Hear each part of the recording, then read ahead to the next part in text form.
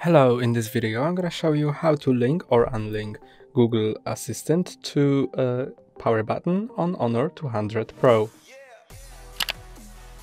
To do it, go to Settings, then scroll down to Accessibility Features, Shortcuts and Gestures, Google Assistant, and now you can disable or enable it.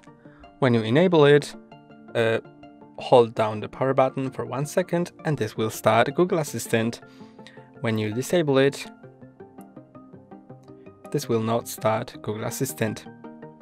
Uh, and no matter if it's enabled or disabled, uh, to enter power menu, press and hold for 3 seconds.